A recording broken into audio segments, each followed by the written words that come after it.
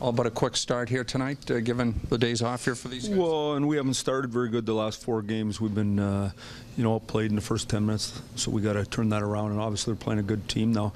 You know, we played real well against the good teams. We got to be organized, tight checking, and working hard tonight.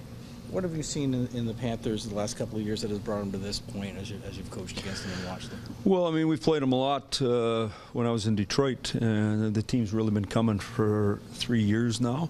Uh, obviously, when you draft where they draft and you draft the kids they've drafted, you end up to be a pretty good team with a pretty good skill set, and so they've done a good job building their program here. And they've really skated. Uh, the last couple of years, they were hard for us just because of the way they skate, and they're going to make it hard for us here tonight. But, uh, you know, we're going to have to be on the right side of the puck and work hard. They're almost a template, really. Well, uh, yeah. I mean, how did they get here, though? So is pain. the problem with the template is that you know there's first round pick, first round pick, first round pick, first round pick, all high. In order to get that, you gotta you gotta earn that. There's lots of wounds to earning that. So.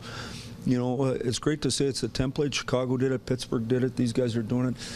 I don't know how much fun that is, though. Then there's a real emphasis on development, correct? Because you see the, the kid up the highway who's sitting at home waiting for a trade now. You know, Well, I- guess what I would say to you, yeah, I'm not, uh, I don't know nothing about generally- Yeah, I don't know nothing about that. What I do know is though, is that y- you got to draft like crazy, and you got to develop like crazy, and you got to make good decisions. And if you make a good enough good decision, you draft high enough, long enough, pretty soon you, hey Frosty, pretty soon you end up with a, a, a real good team.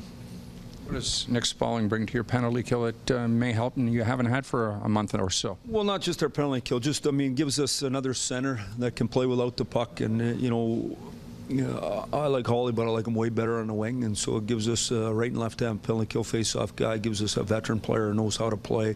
Uh, you're not as concerned with him in D zone.